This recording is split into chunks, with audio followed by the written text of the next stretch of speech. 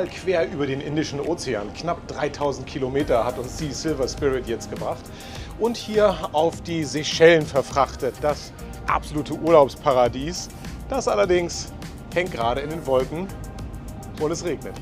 Aber schön warm ist es, immerhin.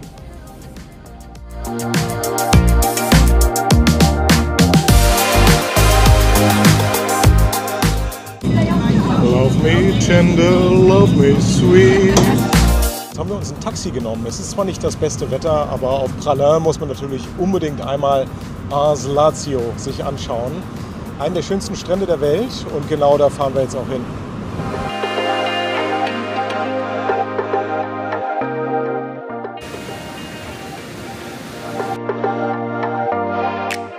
Wie kann es sein, dass man an einem der schönsten Strände der Welt völlig alleine ist?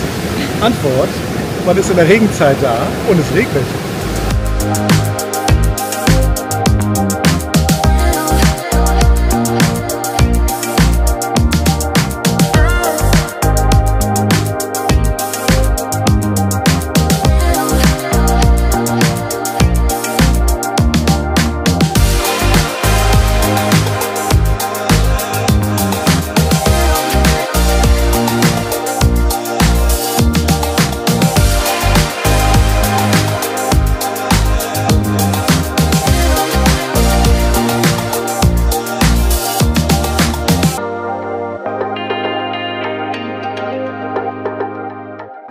Den Schildkröten hier ist das Wetter egal. Die werden ja auch bis zu 200 Jahre alt. Kommt auch wieder Sonnenschein.